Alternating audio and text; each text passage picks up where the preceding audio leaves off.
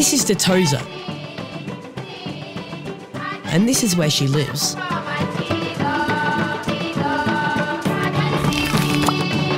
She lives in a village called Matuba in Mozambique.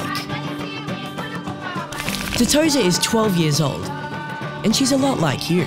She enjoys playing with her friends, she likes making things, and she also enjoys school. When Ditosa's parents died, it was up to her grandmother to look after her and her sister. Now the community in Matuba helps them all. Caritas Australia helps too.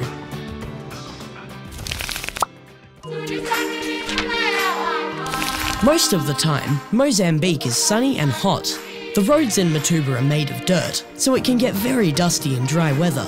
Ditosa has lived in this village all of her life. My house is made of mud bricks. The roof is made of iron. My house has one door and one window.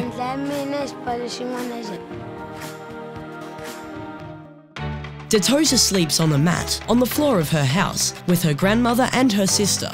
Every morning she rolls up the mat and gets ready for the day. Cooking and cleaning dishes and other household chores are done outside. From her door, Ditosa can see other houses, a tree, a goat, and the rack where she leaves washed plates to dry. She can also see a plant called aloe vera. Her grandmother uses the inside of its leaves to heal cuts. In a village near Matuba, there are some children who have no houses at all.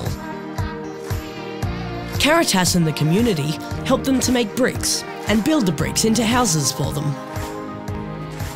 Every child has the right to a safe place to live. See what else you can find out about the rights of the child.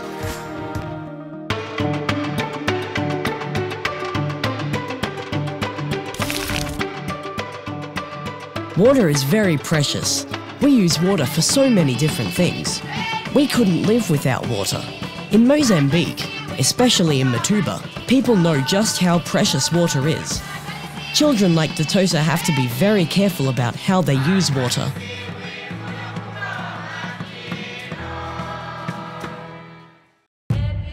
In the year 2000, there was a big flood in Matuba. Most of the time, though, it's very hot, especially in summer, and the land gets very dry. Away from the towns, there are no pipes to supply water to taps and toilets in houses.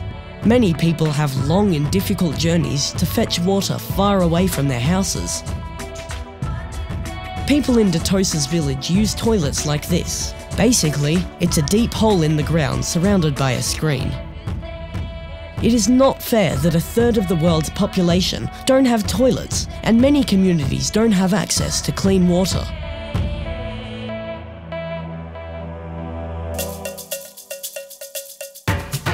In Matuba, a community leader called Mama Casilda talked to Caritas Australia about what the community could do to make things better. Caritas Australia helped the community to install a water pump and a storage tank at the Matuba Children's Centre.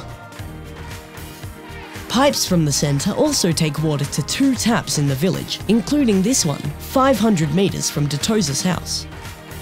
Caritas also helped the community to build toilets and showers at the centre. Now the children don't get sick as often as they used to. When they've been to the toilet and before eating, the children use clean water and soap to wash their hands.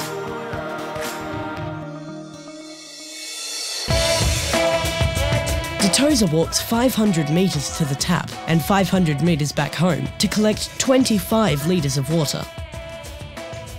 You could do a sponsored walk to help people who don't have clean water near their houses.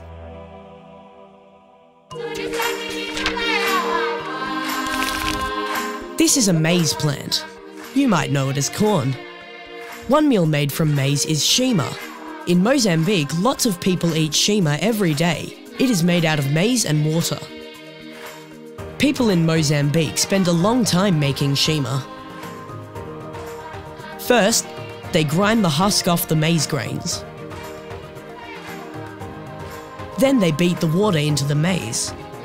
Then they boil and stir it. Preparing a pan of shima takes hours, but it can feed a family for three days. The children at the Matuba Children's Centre grow maize in their garden at the centre. They grow lots of vegetables at different times of the year.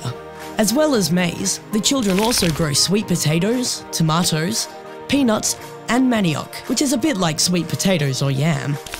Everybody works together to ensure that there's enough healthy food for everyone.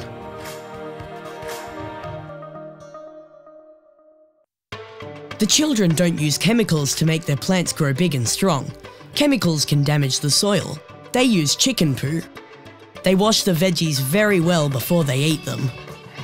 There is also a community farm at Matuba, owned by the church. Some of the crops provide food for the children's centre and for other groups. Some crops are sold to buy new seeds and tools. This makes the farm sustainable. Caritas has also funded a chicken project so that the children can raise chickens to sell. Sometimes they have chicken for dinner. Every day, volunteers from Matuba community help prepare a healthy lunch for the children at the centre. Today, they are having mixed vegetables and rice. See what you can find out about different foods from around the world.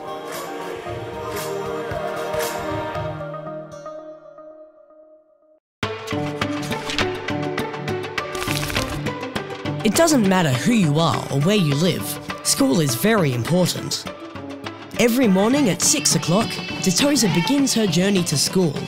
It's four kilometres away from her home. In Mozambique, most boys spend 10 years in school and girls 8 years. This is Matuba School, where Ditosa is in grade 6. School starts at 7am and it finishes at lunchtime. Each lesson is 45 minutes long and has an average of 65 students and one teacher. Her classroom has broken walls, no electricity, and no chairs or desks. But this doesn't stop kids like Ditosa from getting an education. This is Ditosa's Portuguese teacher, her maths teacher, and this is her science teacher.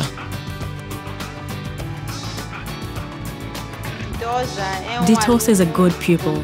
She's never late to arrive at school and she's not afraid to ask questions if she's unsure of something. Some of the subjects I study are Portuguese, mathematics, and science. I like maths the most because I quickly understand it. In Mozambique, it is free to attend school up until grade 8, but students have to buy uniforms and pencils and exercise books.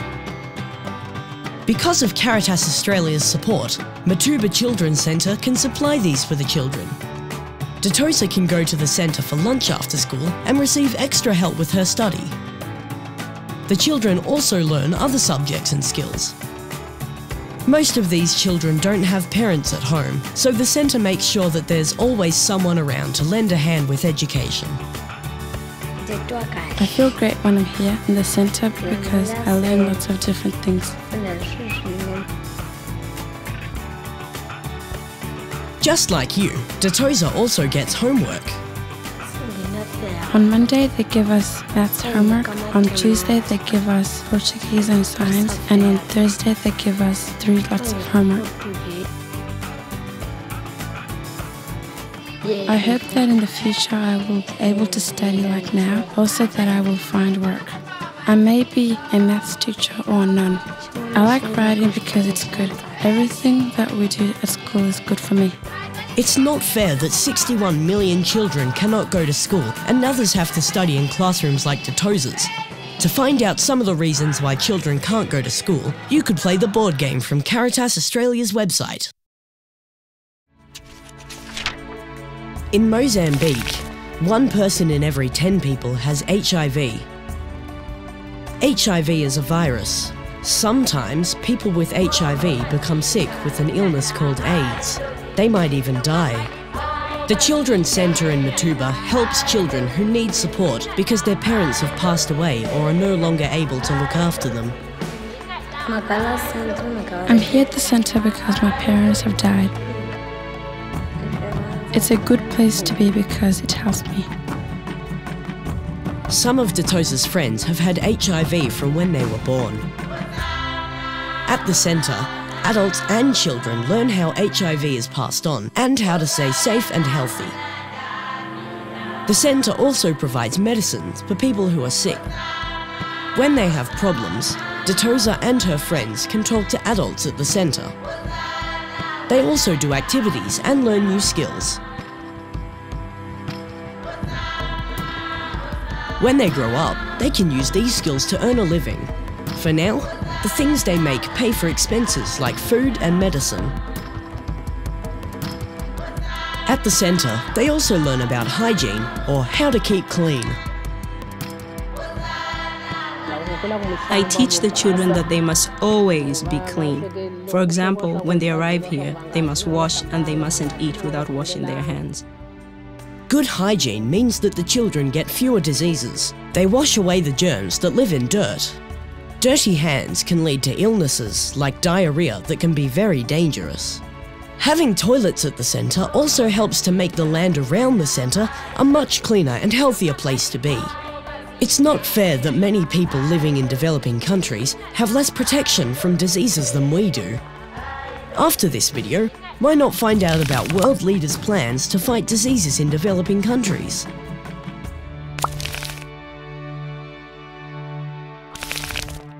Through Caritas Australia, you are helping children in Mozambique and in many other countries to have enough to eat, to have clean water and healthcare, to go to school and grow up as strong and happy members of their communities. You are helping them to open doors to a better future. Thank you.